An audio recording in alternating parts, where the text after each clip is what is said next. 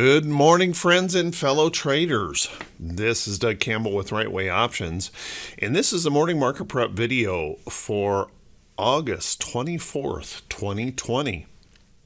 So, my goodness, good, strong moves last week for our close, beautiful bullish patterns, great trends. One has to wonder how much longer this can continue, but this morning, all you can see is a sea of bulls and a really, really strong push to the upside this morning. So let's take a look at the markets here and the technicals and see what we've got going on here. But if you guys don't don't mind, let's take a look at these tremendous trends that are just beautiful overall with really strong patterns. And as you can see here, beautiful upside trend. This move, this consolidation, and then pushing on through, that's one of the most common patterns that we see in the market. And we've seen that several times before. We pull back and rest and consolidate and move on higher. So what does that mean for today? Well, how about we settle in? Let's grab ourselves something to drink and let's get ready for the Monday edition of the morning market prep video. So, this morning we are seeing tremendous bullishness with the market gapping up. We've got um, Asian markets that were up solidly overnight but European markets are soaring this morning, and that's helping to lift US markets as well. So you can see we're looking at a substantial gap up. And although the Dow is still about 5% below its breakout high, this is going to be a substantial move up this morning and uh, possibly a move up where we could challenge some price resistance in the chart. Now, one of the things we always have to consider when we get a massive gap up like this, I always want to consider the possibility that this is this could create that pop and drop where we gap up in the morning all of that um, bullish energy kind of gets uh, pushed through first thing in the morning, and then we kind of settle in and pull back. Now, hopefully, that's not the case this morning. And right now, it would be hard to even imagine that uh, the bulls won't just keep pushing. But it's something you always have to think about on a big gap open, particularly when we're gapping up to new record highs and two of the indexes were challenging resistance in two of the other indexes that that possibility does exist. So I'm not trying to put any prediction on anything um, suggesting that that's what's going to happen, but we always want to consider that because it's so easy as a trader when we see all of that bullishness in the morning to kind of lose focus and and um, feel that um, fear of missing out, that desire to chase. And we're going to want to be careful with that first thing this morning, just making sure we're not rushing in to um, that potential of a top. Let's wait and see if we actually get follow through buying this morning before we uh, jump heavily into new trades. So let's watch that close. Right now, if we take a look, we're certainly in a bullish pattern. There's nothing in this chart that suggests bearishness at this moment in the chart. And as a matter of fact, if we look at our moving averages, we're um, very, very bullish in the market. The only thing that I can point to as a bit of a concern is that we're extended. And when I say extended, if I were to measure here from this morning's gap up open expect, expectancy anyway, if we do gap up to there, let's notice that if we pull back just to the 500 or the 50 day moving average, that that is about a 6% decline. And um, if we take a look at the NASDAQ, it's a nearly 9% decline. So we are quite extended in the market. Doesn't mean we can't continue to do that, but that's about the only thing I can point to um, in that cautionary tale of just be careful um, rushing or having that fear of missing out, just in case we do get that pop and drop today. Let's take a look at the SPY. SPY also extremely bullish. Nothing in this chart suggests bearishness. We're gapping up substantially this morning. We will set a new record high in the SPY. One thing I gotta say is some of these stocks are literally priced to perfection and some times I think even beyond perfection right now. The big techs continue to lead the markets higher. And oh, I just have to consider that at some point in time, we could see some of those big techs running into a buying wall where we slam into that wall. There's no more money coming into those big techs and they start to pull back. With those big techs now dominating, and, and really five or six companies dominating the the indexes, if they just get a modest pullback, we could see substantial selling coming into the market. Could actually show us that problem. Now, I'm not suggesting that's going to happen today, but we will want to keep our eyes on that possibility and not become overly complacent. Should that condition um, come around. So just make sure you stay focused here on this price action. But right now, SPY bullish as all get out, new record highs this morning, gapping to new record highs, and that always makes me just a little bit nervous. Let's take a look at that NASDAQ bullish, bullish, bullish. Nothing in here that is not bullish. Strong, strong trend. Um, and as I mentioned, if we're gapping up to here, let's just notice that if I just pull that back to the 50 day moving average, um, we're looking at 8.7, nearly a 9% pullback just to come back and test that 50. Notice how long it's been since we've tested it. So we have to consider the possibility that that could occur at any one time. But in this environment of printing and printing and printing of more money, FOMC just shoveling cash into the economy. Um, maybe it doesn't exist for a while. I don't know how long, how much longer we're going to do this before we can kind of prove that the market should be able to stand on its own. I mean, how much of a wave of print money do we need before the market stands on its own at new record highs? But we will have to see. Um, let's watch that close. And then IWM, IWM also very, very strong this morning, gapping up. Now, this has been the weakest of the indexes. And you can see we ran up here and hit this resistance high area, pulled back. This morning we're gapping up, but we're not breaking out this morning. So we're getting that move up. There's a little bit of concern in the oil sector, a little concern still in the financial sector. That's kind of struggling in here, um, seeing a little bit of struggle in here on IWM. So watch that close as we test some resistance levels here in IWM. Let's take a look at the VIX. Now that VIX, it's kind of an interesting chart, um, and I mentioned this a lot. Um, it's still odd to me, and still odd to me that we are maintaining an elevation in this VIX that we would normally or typically not see when we're making new record highs in the market. Typically, when we're doing those new record highs, we're down in the teens and um, mid to low teens when we're setting those new record highs in the market in the VIX. But we have this. Um, a market setting up here in 20 some handles um, in the VIX. Now, we certainly have this downtrend in play, and that bullishness this morning, that big bullishness in this morning, might finally break this support level in the VIX and actually drop that down in here below that level. That would be nice to see, and it would actually be um, a little bit more of rational. Uh, price action in the VIX um, at these new record highs, if we could start pushing um, that fear down, it's just kind of an interesting situation that we've remained so ele- elevated and haven't been able to really break it down.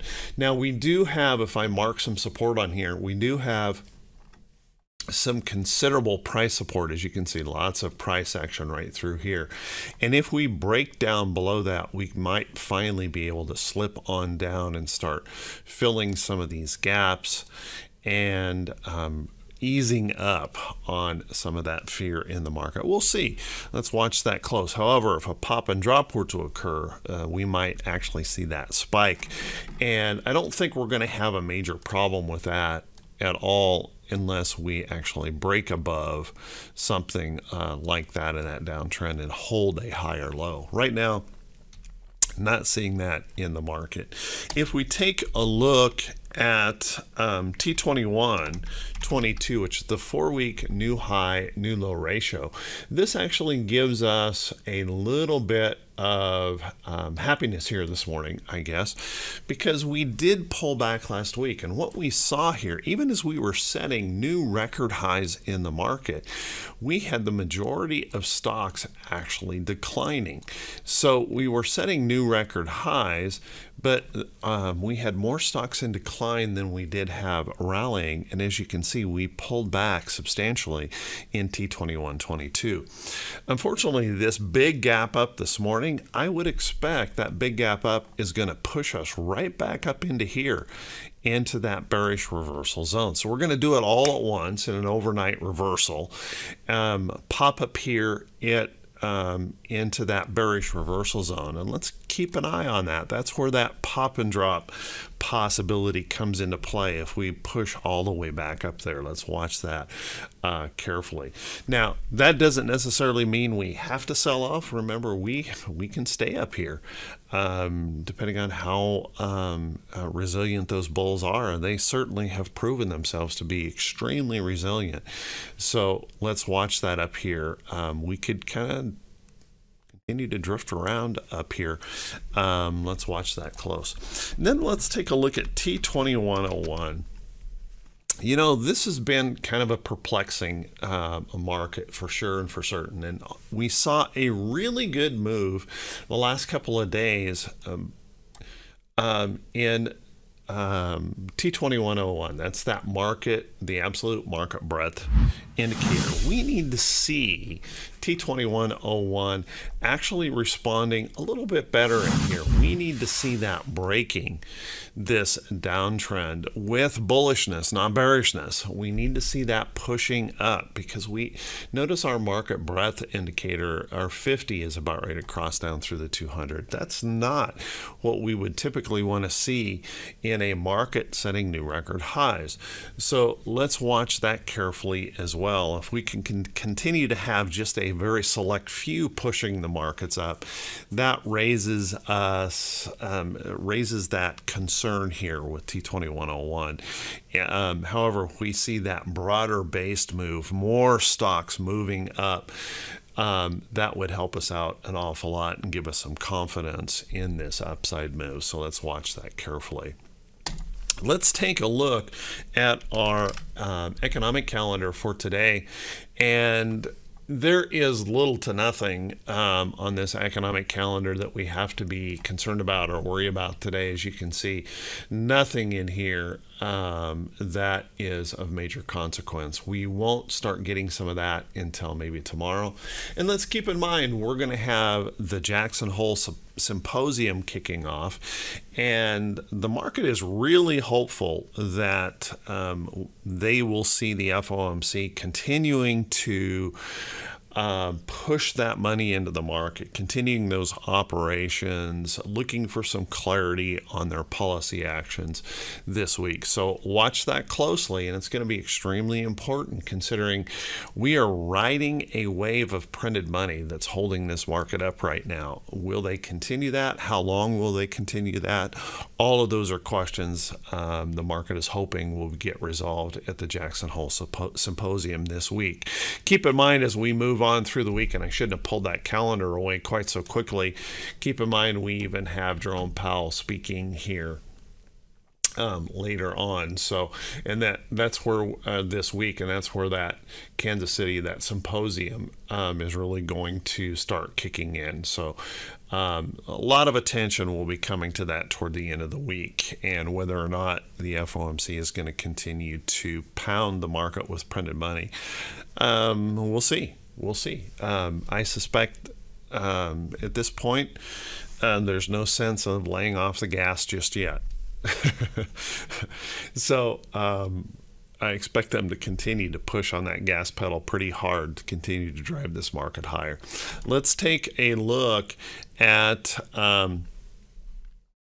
Uh, our earnings calendar this morning. Now, on earnings, we have 20 some companies reporting earnings today. Um, we'll want to um, watch a couple of those carefully. Not too many um, um would be in what I would call notable um, category, but one that is is this Pan W. Pan W, as you can see, has been in a beautiful upside trend here in this chart, looking very very strong breaking through resistance levels, holding up. Had a little bit of pullback yesterday.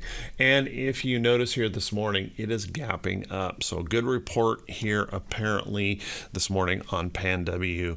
Let's keep an eye on that one. It's looking pretty good. And the only other one that I could really come up with as a particular notable today um, QFI and might be something you want to pay attention to um, reporting today. And as you can see, we have a pretty nice pattern in here, and we're breaking substantially above that this morning on this gap up open. So watch that closely.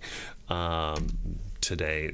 A few other companies out there reporting, but really nothing of particular note um, overall. Let's take a look at um, some stocks that could be setting up. But before we do that, guys, if you could do me a favor, if you could. Um, click that subscribe button on YouTube and then also click that bell icon when it pops up. And if you feel like these videos are worthy, if you could please leave a uh, quick, just a, a, brief comment and click that thumbs up button. Helps us to continue to grow the channel, and I just want to say thank you to everyone who takes the time to do that. As you guys know, I've been struggling with a little bit of a uh, a health issue, just um, an internal infection that I think um, this weekend I arrested. I'm recovering very, very well. Um, I should be back to answering these comments. So, um, thank you for everyone who does that. And I apologize, I haven't been able to answer a lot of those here in the last few days. So let's take a look at some of these stocks that are setting up. And remember, every time I post one of these stocks, it's not a recommendation to buy or sell any security. It is merely something uh, that I use as part of the education of what I do here in the market. So uh, please keep that in mind. Let's take a look at um, stocks like J&J. J&J showing lots of strength here, and I'm going to adjust this line over here. And notice that we've broken through some resistance levels in the chart. We're still challenged by some resistance levels above. But J&J, we know, um, is coming... Um, coming full circle with a lot of federal money uh, to produce some um, vaccine um, here soon. So as we're pushing up, um, let's watch for this rest or pullback in here that could occur at any time in that possibility that J&J can move on higher. Looking good overall. Take a look at John Deere. John Deere really, really strong last week, uh, moving up on an earnings report. And notice that it is continuing that move this morning, looking bullish, uh, very bullish in this chart. John Deere showing lots of strength. Any rest or pullback in here toward the trend sets up an opportunity. Uh, um, a very different stock that you might want to keep an eye on for a possible short would be Ford. Now, Ford has had um, a little bit better um, expected or expectancy in, in their earnings. Um, they've got some new vehicles coming out. Seems to be um, um, very well received by the market itself, but pulling back. So let's watch this and notice what we're doing in here. We have that possibility of breaking this support. Now, normally I'm not looking at any short trades unless the market is going short, but we we want to start considering um, because we're so extended in the market the possibility that we may want to start building a list of possible short trades in the market if we break this support in here and hold it as resistance, Ford's not looking too good here. So let's keep an eye on that. Um, kind of an interesting chart to be paying attention to. As you guys know, I have been watching uh, McDonald's. McDonald's holding up very, very strong. There's no sign that this is going to stop just yet. And we, but we do want to note that we're pushing into some resistance levels in that chart. Um, that possible breakout could be coming um, here soon. We've got a lot of work to push up through there, but McDonald's holding up very, very strong um, overall. Anything in the building sector uh, uh, incredibly strong right now. Um, home building is just tearing it up here. And Masco being a supplier um, looking good. Take a look at Masco. Take a look at um, um, Fastenal, Fastenal, beautiful break out of the pop out of the box type pattern here. This beautiful consolidation um, right in here showing strength and that possibility Fastenal breaking out. Anything for the home builders, um, Lennar, uh, very, very strong, as you can see, holding this bullish trend, moving higher. Uh, KBH, uh, very, very strong. So keep an eye on those home builders looking um, incredibly bullish here at the moment. I think we also need to be keeping an eye on our shippers um, with more and more folks just you know being pushed into the buying online these shippers are doing very, very well. Um, FedEx holding up really strongly. This is a nice little consolidating move over here. Let's keep in mind that possibility that it may have to continue to consolidate for a while, but we can also set that trend to a steeper move. So let's watch that if that um, starts moving on higher. I also got to say the same thing um, on UPS. UPS very very strong in this move in this trend. Let's watch for that next opportunity for that upside. Lots of great stocks out there, more than you can really shake a stick at um, that could potentially set up. Take a look at KHC. KHC is one of those companies that has benefited tremendously from coronavirus. And as people stock up on food and with coronavirus continuing to, to be kind of a problem, um, schools closing back down and things like that, we want to watch this in here for that possibility to pop off of that trend. Um, we also want to keep a pretty close eye, I think, on GLD and silver. Gold and silver could improve, particularly if we learn more from um, the Jackson Hole Symp- Symposium that we're just going to keep the pedal on the gas and keep printing money and keep those operations going here in the market.